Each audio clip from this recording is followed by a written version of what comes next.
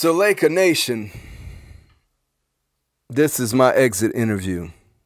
Although it was an underwhelming season this year, and just a lot of things didn't go our way.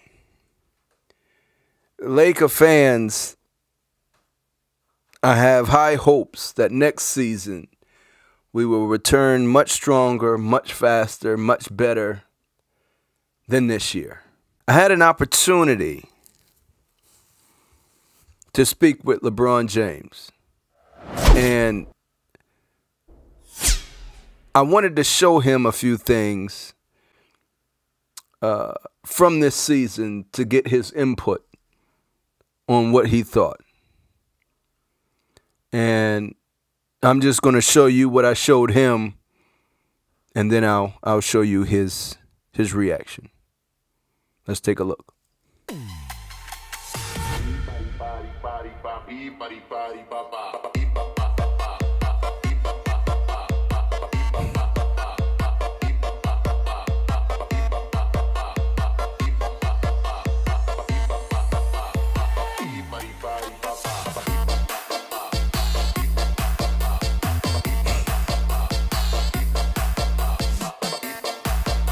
And so when I spoke with LeBron James, I said, Hey, LeBron, how do you gauge Westbrook's season with you this year? And this is what he had to say. Wackest thing ever. Wackest thing ever. Wackest thing ever. Bass in your face.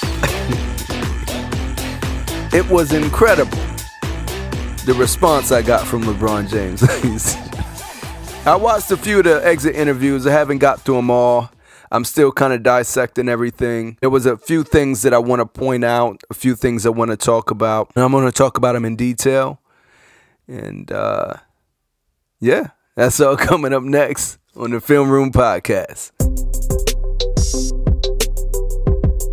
Laker Nation, listen. Listen.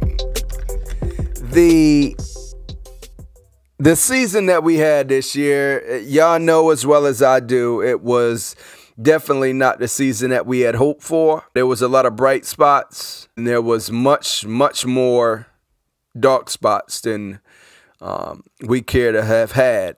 And this season was definitely, like I mentioned earlier, just underwhelming and disappointing and discouraging and disheartening and every dish you can think of, right?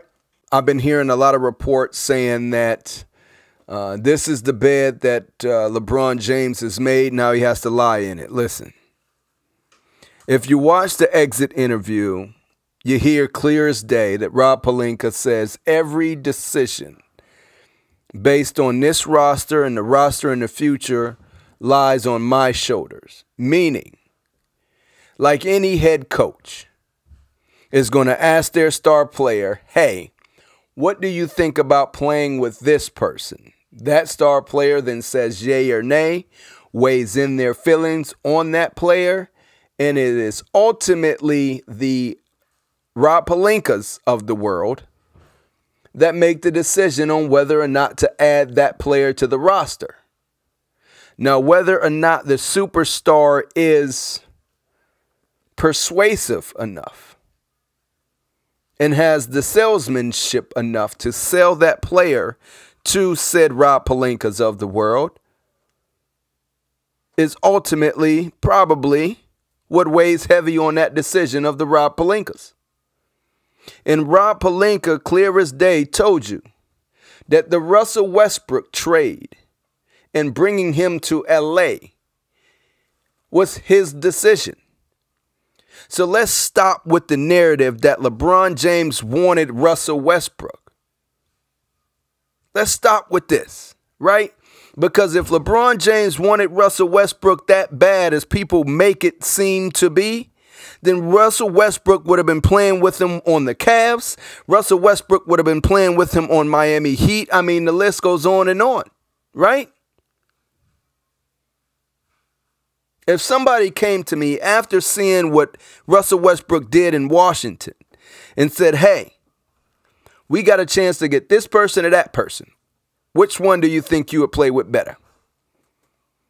If Russell Westbrook is my bro, more so than the other guy, I'm going to say my bro. Bring my bro here. He's from here, da da da da da. I'm I'm going to sell it, right? And bring him here. Now that's where that stops.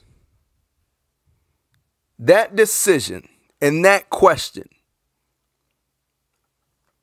You ask me a question, I'm going to give you my honest opinion of how I feel about it.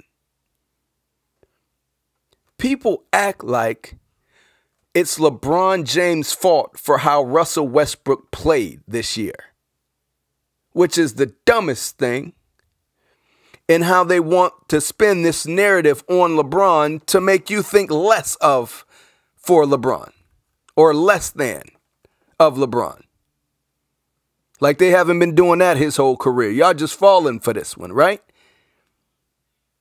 Did LeBron James have any idea that Russell Westbrook would have played this terribly this season? Huh? I ain't hear you. No, because nobody can see the future unless y'all think LeBron James can see the future. And then you can judge LeBron James on his decision to bring Russell Westbrook to this team. Because if LeBron James cannot foresee the future, then it is not his fault for saying, hey, yeah, I think I'd like to play with Russell Westbrook. You know what I'm saying?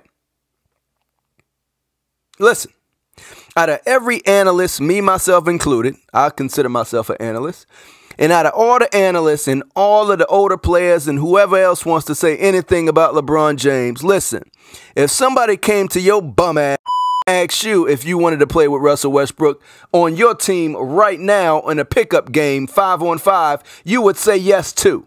Bum ass. Listen, don't get me started. LeBron James made a decision and said, Yes, I want to play with Russell Westbrook.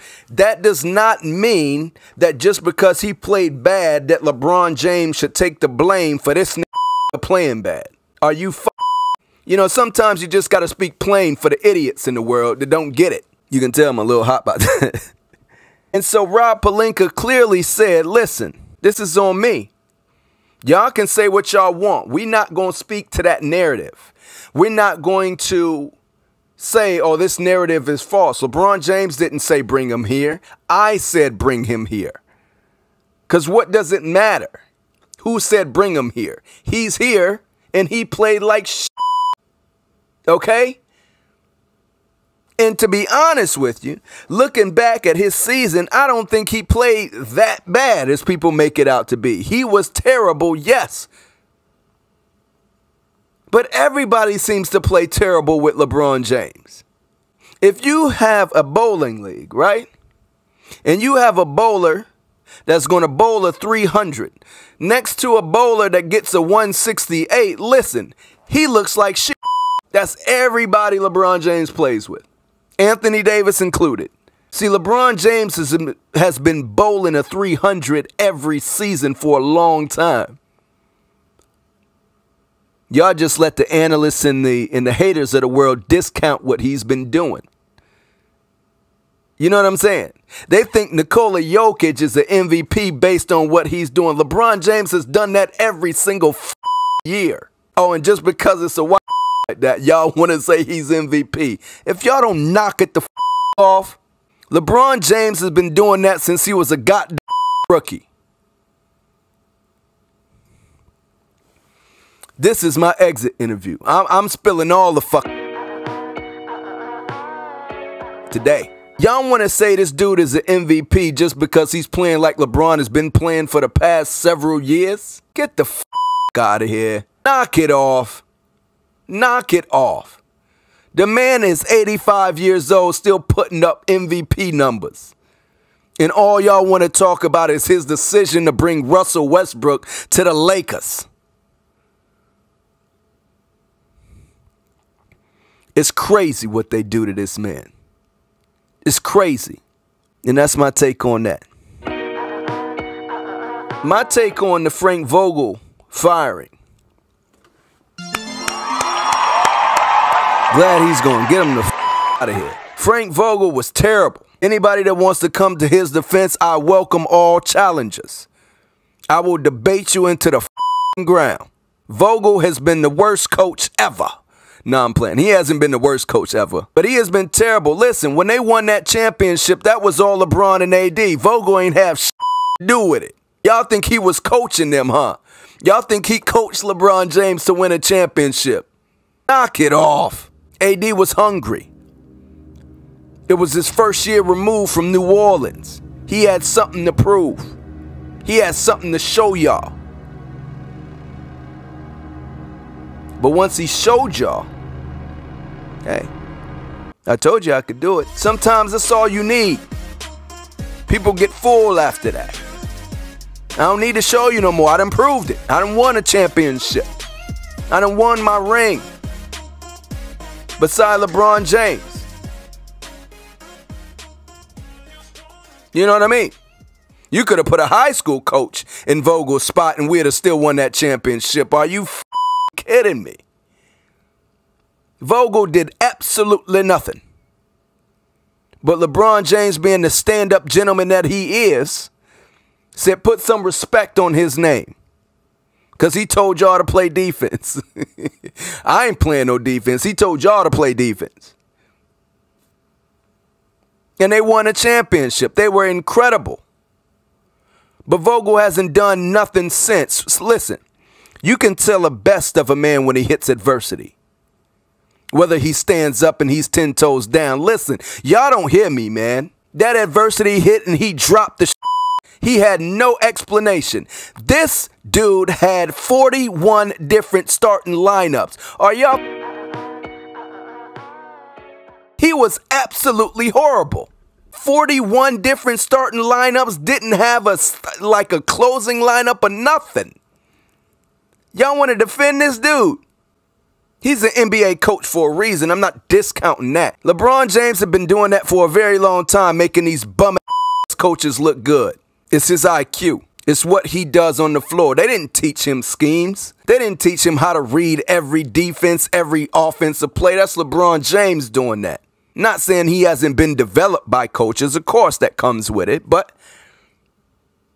Frank Vogel ain't teach him none of that. Frank Vogel was just lucky enough to sit in that chair and watch the show. That's all he did. Because as soon as adversity hit, listen, he showed you absolutely nothing. No adjustments, terrible rotations, terrible, I mean, just everything was bad. I'm surprised they didn't let his ass go before All Star break. So, Frank Vogel, I'm not happy that you're fired, bro because everybody needs a job. You just don't have a job with the Lakers and coaching LeBron James. That's my take on that.